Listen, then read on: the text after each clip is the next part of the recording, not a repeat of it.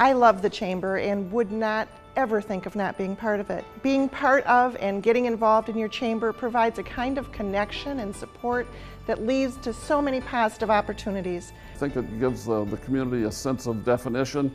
Opportunity to meet other business people. Uh, for me, the Chamber really is a great way to trade ideas and best practices with other like-minded business owners in the area.